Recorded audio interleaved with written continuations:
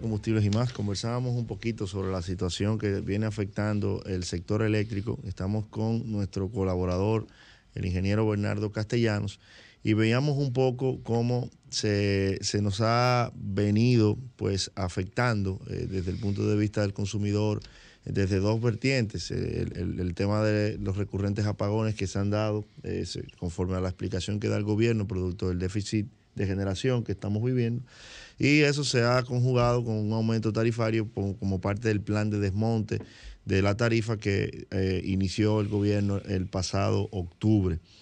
Ingeniero Castellanos, más allá de, digamos que, de la situación, el panorama que hoy se plantea y que, bueno, se vislumbra un poquito más difícil cuando se avecina la época del verano, que es la época más calurosa y evidentemente, eh, por lo tanto, es la época donde los incrementos tarifarios más se sienten y más se reclama también eh, la necesidad de una generación sostenible por el hecho de que eh, hay más demanda eh, de, energía. Entonces, ¿cómo afrontar nosotros esa, esa realidad que, se nos viene? El problema es que este gobierno en el sector eléctrico tiene ya dos años y no tiene nada que exhibir. No hay ninguna iniciativa. Y yo, y, yo voy a poner aquí dos ejemplos. Bueno, ellos han licitado, ¿no? Licitaron. vamos a llegar ahí. Hay, una iniciativa. Bueno, muy buena. No, hay una no, no, hay, hay, natural. Bueno, no, pero eso, eso, es el, eso es el sector financiero. No fue el sector eléctrico. Yo, estoy, hablando, yo estoy hablando del sector eléctrico. Claro. O sea, no tienen iniciativa. Cuando César Sánchez fue administrador de CD en el primer año, en el 2000 al 2001, se hicieron todas las transformaciones en el sector eléctrico en el primer año el Acuerdo de Madrid, la renegociación de todos los IPP, eh, la viabilización de, que hay, de la instalación de AGE Andrés, la conversión de los minas a gas natural. Y eso fue, y se bajaron los precios de la capitalización en un 36% a que compraban la energía y el déficit de la, de la distribuidora cayó drásticamente. Rubén Michara, cuando llegó en el 2012, el primer año decidió a Punta Catalina, para bien o para mal. Yo no voy a entrar en los detalles pero tomó la decisión porque ese era su objetivo. ¿Qué ha hecho esta gente? Nada. ¿Qué es lo que ha hecho? Destruir la CDE. Ese ha sido su, eso ha sido, eso, eso, eso es, busquen el primer decreto del gobierno, fue la destrucción de la CDE. ¿Y para qué ha servido la destrucción de la CDE? Para trasladar el Ministerio de Energía y Minas al, edificio de la CDE, para destruir la quinta planta de la CDE bajo la excusa de que ese edificio tenía, era una ruina peor que la ruina que, que está produciendo Putin en Ucrania con los bombardeos porque aparentemente por la descripción que daban, eso se estaba cayendo a pedazos y los empleados entraban con casco en la cabeza para que no le cayera un pedazo de escombra y con una sombrilla porque llovía más adentro que fuera. Pero yo soy ingeniero civil y yo no entiendo cómo instalar 2.800 metros cuadrados de porcelanato en la quinta planta, que coincidencialmente es donde está la oficina del ministro, contribuye a la estabilidad estructural del edificio. Cómo instalar 2.800 metros cuadrados de plafón contribuye a, la estabilidad del edificio. Y cómo construir, eh, cómo instalar 28 metros cuadrados, 26 metros cuadrados de mármol negro que está en el presupuesto original, no se lo instalaron, contribuye a la estructural. Entonces, yo dije al principio y preguntaba, ¿esta crisis de los apagones había sido anticipada? Era previsible, se podía evitar. Y yo voy a responder que al principio no lo pude hacer, porque entramos en, otro, tema, utilizando la declaración del gobierno del domingo. Y, voy a leer textualmente. Dice, dice el gobierno, perdón, déjeme, porque ahora aquí está. Dice el gobierno el domingo, dice, el mes pasado, o sea, estamos, estamos hablando en abril, concluyó la licitación de urgencia LPI ED 02-2021 para instalar 400 nuevos megavatios del al Sistema Eléctrico Nacional. El proceso fue lanzado el primero de diciembre del 2021. Yo quiero que graben esa fecha. Primero de diciembre del 2021 que se convoque esa licitación de urgencia. Y esa licitación de urgencia era para que en, un periodo de dos meses, no recuerdo bien, dos o tres meses, se presentaran las ofertas y una vez firmado el contrato, el compromiso de los, ganadores era que esas plantas tenían que instalarse en, en, un máximo de seis meses y con un contrato de tres años. Bien. Dice el comunicado más adelante, la urgencia se debe a que el parque de generación recibido en agosto del 2020, óigame bien, era totalmente deficitario, puesto que si se abastecía la demanda máxima de energía, la reserva se quedaba en menos del 5%. Y sigue el comunicado. Este, y esta es la parte que yo quiero que le pongan atención. Aseguran que la situación había sido señalada en el año 2018 a través de un estudio realizado por la CDE a la firma Mercados Energéticos, que es una firma argentina que ha hecho varios estudios para la CDE en diferentes periodos, en el que se demuestra, óigame bien, la necesidad de instalar una central generadora de 600 megavatios basada en gas natural en el 2021 y otra también de 600 megavatios en el 2023. Entonces yo me pregunto, si el 16 de agosto, cuando las autoridades del sector eléctrico tomaron posesión, tenían conocimiento de ese informe, porque ellos lo declaran en esta declaración pública, ellos admiten que sabían de esa urgencia. ¿Cómo es posible que esa urgencia se manifieste en la realidad con una licitación convocada 15 meses después? Sobre todo cuando el informe dice textualmente que se demuestra la necesidad de instalar 600 megavatios en el 2021. Entonces, ¿cómo tú podías instalar 600 megavatios en el 2021 convocando una licitación en diciembre del 2021? No había posibilidades. Entonces, esa licitación que mandaba aquí, que recomendaba el, mercado energético y que el gobierno, o mejor dicho, el Ministerio de Energía y Minas ahora, porque es quien, da los datos según la declaración para, para esta justificación, y que se basan para hacer la licitación de urgencia, ¿por qué no la convocaron a la semana, a los 15 días de, tomar el poder? ¿Qué le impedía a ellos convocar esa licitación de acuerdo a esa recomendación? Si hubieran hecho eso en el 2021, exigiendo que se instalara en seis meses, como exigieron en diciembre, se hubieran instalado aquí 400, 600 megavatios. Y entonces no importa que Punta Catalina, si haya eh, la programación eh, que se hizo del mantenimiento mayor, que ustedes saben mejor que yo, que esto se programa un año de antelación, todos los generadores. En consecuencia, los responsables de Punta Catalina sabían que venía eso y tenían que estar preparados con todos los repuestos y todas las piezas que necesitaba ese mantenimiento mayor. Y usted entra a la página de Punta Catalina de compra y en abril y en mayo, luego que la central salió de operación el 26 de marzo, es que se están haciendo compras para esa unidad número uno, lo que te dice a ti, que, eh, que ahí hubo improvisación porque si usted tiene un mantenimiento programado y usted está comprando piezas para ese mantenimiento programado, después que usted saca la unidad de generación, es porque usted entonces, ¿qué fue lo que hizo?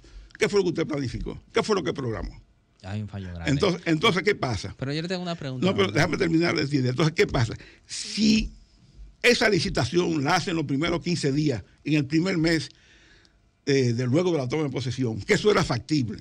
¿Por qué era factible? Porque en CDE hay por lo menos dos o tres pliegos de licitaciones de, energía. Porque en febrero del 2020, Rubén Bichara sacó una licitación para instalar 800 megavatios de largo plazo, 400 que pedía que fuera en la zona norte y 400 en cualquier parte del país. Y esa licitación a los 15 días, porque el PRM y Antonio Almonte se objetaron porque estaba en medio de la campaña, una objeción razonable, Rubén la retiró. Esos pliegos estaban ahí. Pero además estaban los pliegos de la licitación que hizo eh, Sergio Marratín en el 2011 y la licitación de corto plazo que hizo Rubén Villara para recontratar los contratos del Acuerdo de Madrid que vencieron. Entonces, esa licitación se montaba en 15 días. Digo, gente que supiera de eso y gente que estuviera en eso. Pero entonces la urgencia que dice el estudio de mercado energético, la interpretó el Ministerio de Energía y Minas y los funcionarios de este gobierno del sector eléctrico, es una urgencia de 15 meses. Entonces yo no quiero saber cuál es el, término cuando digan que es una situación normal, durará tres años. Entonces, los apagones de hoy estaban anticipados. Porque si usted necesita instalar 600 megavatios de energía, de potencia, perdón, en el 2021, y hay un estudio que se lo avala, y si usted no lo hace, usted sabe que usted va a llevar este país a apagones. Entonces, ah, si se hubiera instalado los 400 o los 600 en el 2021, esta salida de Punta Catalina de Andrés no hubiera producido la magnitud de los apagones que se han producido. En consecuencia, lo que estamos viviendo con estos apagones es fruto de la improvisación, de la negligencia y de la responsabilidad de funcionarios que con este informe hicieron caso omiso a las recomendaciones. ahí yo haría un comentario, no, no nada en contra, un comentario neutral y también una pregunta, que tengo dos preguntas que me han mandado unos radioescuchas que, que le haga. El comentario sería que lamentablemente y, en algunos otros momentos eh, uno de manera personal, así socialmente uno lo ha dicho, eh, yo me atrevería a decir que eh, no sé si es nuestra idiosincrasia, la cultura o qué, pero recién asumiendo un gobierno, un, nuevo gabinete, de, un nuevo equipo de personas, y que de manera confiada, eh, neutral, pensando en el bienestar de, eh, sano de lo que sería la evolución del sector eléctrico y más para este tiempo, eh, es difícil pensar que iban a asumir ese estudio, iban a hacer una ejecutoria de, lanzar un proceso de licitación sin ni siquiera, porque mire, muchos de los problemas que creo que se han dado hoy en día a nivel del manejo de las instituciones es que han tenido dificultad para seguir el ritmo que debe de llevar eh, una planificación de una, una entidad eh, de manejo estatal y con un proceso de una ley 340. O sea, eh, no sé, eso he visto... Las licitaciones de energía no están sujetas a la ley 340, son, son regidas por la Ley General de Electricidad. Pero fíjate lo contradictorio, eso que tú explicas solamente tiene un, una definición, es, es, una actitud y es en los hechos una práctica de incapacidad e ineficiencia e ineptitud. Ahora, pero es, son las mismas autoridades que justifican la licitación de diciembre de 2021 de urgencia. Esa licitación la justifican sobre la base del estudio del mercado energético. La diferencia es que la licitación la convocan 15 meses después, cuando no va a tener el efecto y no van a prevenir el diagnóstico que, que, el mercado energético dice que hay un déficit de 600 megavatios que tiene que ser instalado en el 2021. Entonces, ahí es que está el fallo. Sí, sí. Ahí es que está el fallo. Ahora, Sí en el, oiga, sí en el sector energético, eh, en el sector eléctrico, y, yo que vengo, estoy en esa parte del sector eléctrico, todos los actores del sector eléctrico de alguna forma u otra nos conocemos. Sí es irresponsable de que si uno sabe, eh, si, técnico, si uno como técnico sabe esto, y no eh, da la voz de, eh, de, alerta o da las recomendaciones correspondientes a quienes lideran ya, eh, el, que administra el, negocio o el que dirige el país, lo que sea, si no se, si no se recomienda de manera técnica, objetiva, lo que tiene que hacer para evitarse esto, pues ya eso es otra cosa. Pero, pero, pero, pero yo eh, entiendo. Se lo digo, se lo digo porque, mire, yo creo que es muy difícil pensar en nuestro país, no sé, eh, no le puedo decir de otro país más desarrollado, que cuando haya un cambio de gabinete de gobierno y más de la forma que lamentablemente tan incidentada que fue el, proceso en medio de la pandemia y todo eso, que vayan a asumir un estudio que era lo que corresponde, es lo que se tiene que hacer, es lo que se tenía que hacer, eso estaba claro por la madurez que ya se tenía en el manejo del sector, pero que pudieran ah, ah, tomarlo y ejecutarlo en el tiempo que ameritaba. Sí, pero fíjate una cosa, el estudio no lo hizo el gobierno pasado. El estudio lo hizo una firma intencional reconocida que nadie en este país ha objetado, número uno. Totalmente. Número dos, si el ministro de Energía y Minas o los funcionarios del sector eléctrico que tienen su responsabilidad por ley, tienen que pedirle el permiso al presidente para convocar una licitación, entonces entonces estamos mal. entonces, entonces, entonces yo no, yo no puedo aceptar que, una autoridad, o sea, la autoridad superior para convocar las la licitaciones es el jefe del sector eléctrico, que es el Ministerio de Energía y Minas, que son las distribuidoras. Y eso no está sujeto a que el presidente lo apruebe porque es una necesidad, esa es su responsabilidad. Entonces ellos asumieron el estudio de mercado energético porque lo dice el documento del domingo. Ellos lo asumen. Lo que no asumieron fue la urgencia que plantea ese documento. y como no asumieron esa urgencia en el tiempo que tenían que asumirla, porque tenían que garantizar que en el 2021 entrara, aunque sea a final del 2021, 400 megavatios por lo menos, para mitigar lo que estamos sucediendo hoy, como no hicieron su tarea, sino que la postergaron 15 meses, hoy estamos sufriendo yo sí Yo sí le podría decir que como profesional del sector eléctrico, yo quisiera, y lo digo aquí públicamente y a todos los que nos escuchan, y sé que hay muchos profesionales del sector eh, eh escuchándolo, sí sería eh, importante en nuestro país que en lo que es el manejo del sector eléctrico fuéramos todos los que estamos involucrados ahí tan celosos como se maneja el sector financiero, por así decirlo.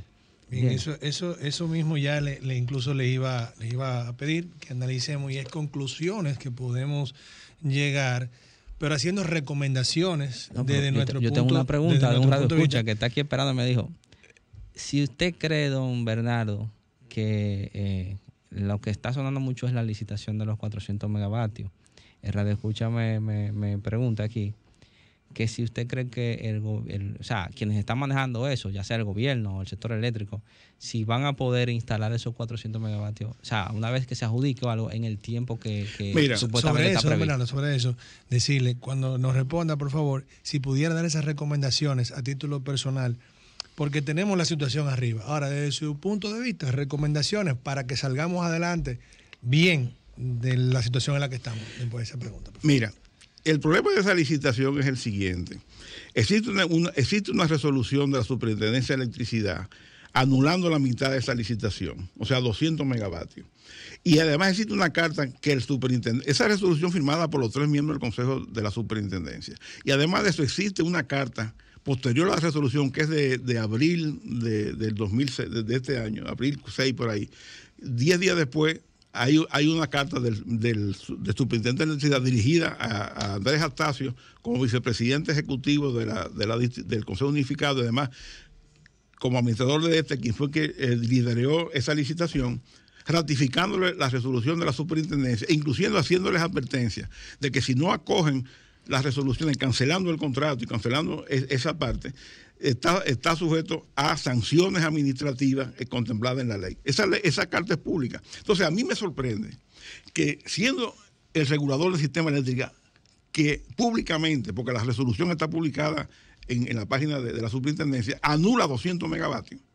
De, de, esa contratación. O sea que en teoría solamente hay 200 megavatios contratados. ¿Cómo es posible que la presidencia de la República dice que van a entrar 400? Entonces, ¿qué pasó con esos otros 200? revocaron la resolución de la superintendencia. ¿Dónde está esa revocación? ¿Cuál es la justificación por la revocación? Porque entonces la superintendencia tiene que ir sobre sus argumentos y decir que se equivocó. Digo yo especulando, porque no sé. Pero además de eso, hay dos empresas. Se sabe que la que le cancelaron la, licitación, el contrato, es Car Power, que es la empresa turca, que su especialidad es, es barcazas eh, de generación y tiene, un gran, tiene muchas barcazas en, África y tenía un proyecto en Haití. Esa tenía una concesión provisional de la Comisión de Energía para Boca Chica. Sin embargo, lo que se dice es que ya esa no iba en Boca Chica, sino iba en, en Asua. Entonces yo me pregunto, la otra empresa que ganó, que no se sabe quiénes son, porque no lo han dicho. Porque a todo esto es una licitación llena de opacidad. ¿Por qué está llena de opacidad? Desde el momento que usted pide cobrar 5 mil dólares para usted tener acceso a, los pliegos de licitaciones, cuando en todas partes del mundo esos pliegos son libres. Yo hablo con experiencia en Panamá y en Guatemala, donde desde el día uno que se convoca una licitación para, contratar energía, los pliegos los publican en Internet y todo el interesado eh, lo tiene acceso. Inclusive usted puede participar en las reuniones presenciales que hacen con los, con los oferentes. Usted tiene acceso a todas las preguntas, a todas las respuestas. El día que se presentan las ofertas, se hace un acto público en un hotel, que yo fui en el 2015, donde AES ganó la, central de 380 megavatios que está funcionando en Panamá, la primera gas natural. Y donde se abren las ofertas públicamente. Y cuando termina el proceso, y además se televisa por internet. Y cuando termina el proceso de apertura de las ofertas, se sabe quién ganó y solamente está sujeto a la evaluación ya de toda la documentación por si hay algún error o cosa. Y cuando se hace el informe de evaluación de esa oferta y se recomienda el ganador, se publica en Internet. Y hoy día usted entra y encuentra toda la documentación de ese proceso. Aquí no, aquí es una caja negra, aquí no se sabe nada, aquí no se sabe quiénes participaron, aquí no se sabe quiénes son los accionistas de las empresas que participaron, aquí no se sabe la empresa que ganó. No se sabe si la empresa tiene concesión provisional o definitiva, porque ustedes saben mejor que yo todo el proceso que conlleva tener la concesión definitiva para de, los, de, los entes del sector eléctrico para usted poder operar una central de generación. Pero además de eso, eh, hicieron estudio de impacto ambiental. Se hizo una vista pública en la comunidad donde eso se va a instalar. Se tiene licencia ambiental. Y yo quiero citar aquí un ejemplo que dio el presidente Abinader recién tomado el gobierno, que fue a visitar la presa de Guayubín, el proyecto de, presa de Guayubín, que es una herencia del gobierno pasado. Y cuando llega al proyecto, la comunidad le dice y le expresa una queja al presidente, porque ya la obra se había iniciado, de que no tenía estudio de impacto ambiental. ¿Qué hizo el presidente? Celoso vigilante de la ley y de la transparencia. Paró el proyecto. y dijo, hasta que no se haga el estudio de impacto ambiental, hasta que no se haga la vista pública, hasta que no se obtenga la licencia ambiental, aquí no se puede eh, avanzar un, centímetro en la construcción. Se hizo el proceso, tomó unos seis meses, se hizo la vista pública, se emitió la licencia ambiental y el proyecto se, reactivó. ¿Qué va a pasar con este, con este proyecto? O sea, ¿cómo el gobierno dice que entre junio y octubre van a instalar 400 megavatios con 200 megavatios anulados de licitación? Y no sabemos si hay concesión, no sabemos si hay estudio de impacto ambiental, no sabemos si hay licencia ambiental, no sabemos qué plantas se van a instalar, no sabemos el combustible que van a utilizar, no sabemos las capacidades, de, o sea, cuál es el tema, porque hablan de plantas eh, modulares, unas en tierra, unas barcazas, o sea, ¿quién, es, ¿quién está detrás de ese contrato? ¿Por qué no se da esa información? ¿Por qué no se publica toda la documentación asociada a ese proceso de licitación? Que se digan los nombres de las empresas, que se digan los accionistas de esas empresas, que se publiquen las ofertas, que se publiquen los contratos firmados, la aprobación de la CIE. O sea, eso es un, secreto de guerra que pone en peligro la seguridad del país. Recuérdese que estamos hablando de instituciones públicas. Porque si esto fuera a nivel privado, el privado no tiene que rendirle cuenta nada más que a sus accionistas. Pero los accionistas del Estado es la sociedad. Y la sociedad tiene el derecho. Ah, además hay una ley de transparencia. Y además tenemos al frente de la Dirección de Ética, eh, Integridad Gubernamental, un baluarte, un estandarte, un símbolo de la transparencia en este país, que está comprometida su figura con la transparencia de este gobierno. Entonces, ¿por qué no publican eso?